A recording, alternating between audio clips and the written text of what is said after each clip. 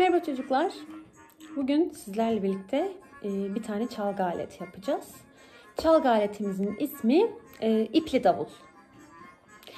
İpli davul için şimdi size gerekli malzemelerimizi sayacağım. Ondan sonra nasıl yapacağımızı göstereceğim. Şimdi öncelikli olarak iki tane kavanoz kapağı, e, bir adet çöp şiş ya da buna benzer bir çubuk, bir tane sünger. Ben bulaşık süngeri ne kullandım. E, bant yapıştırıcı ve iki adet ipin ucuna bağlayabileceğiniz bir boncuk düğme. Ben bunu önceden vakit kaybetmemek için hazırladım.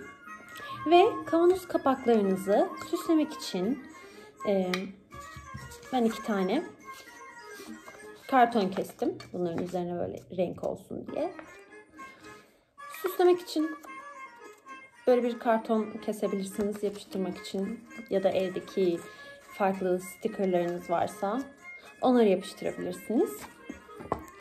Şimdi malzemelerimiz bu kadar. Hazırsak başlayabiliriz.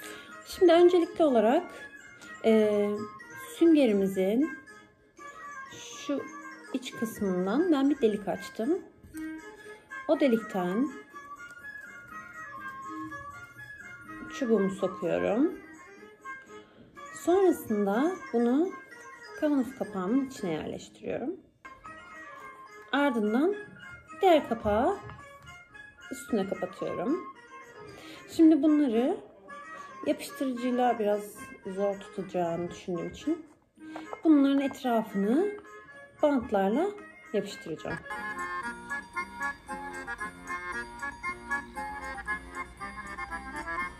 Bunu yapıştırdım. Bu şekilde. Şimdi bunların üzerine kesmiş olduğum renkli kartonları yapıştıracağım.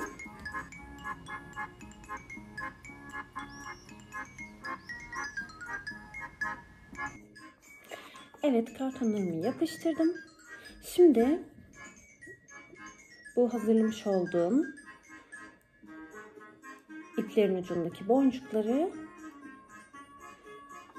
iki taraftan yapıştıracağım. Evet ipli davulum hazır. Görmüş olduğunuz gibi çubuklarımı buraya yapıştırdım. İyi eğlenceler.